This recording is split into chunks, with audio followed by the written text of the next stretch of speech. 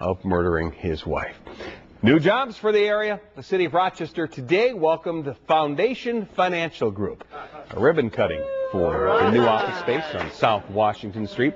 Foundation Financial is expected to create 50 jobs over the next 90 days. It says it'll create 50 more by the end of 2011. The company is a residential mortgage lender. According to the Business Wire, it's one of the fastest growing companies of its kind in the country.